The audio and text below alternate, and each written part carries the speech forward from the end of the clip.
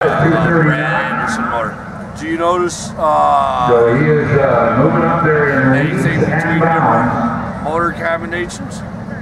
No. Well, I thought that perhaps Bill Lutz was going to take the money. I really did too, man. I, I really, really did. You are. You're bigger. And than I- What? I guess I don't understand why. That's how you get noticed.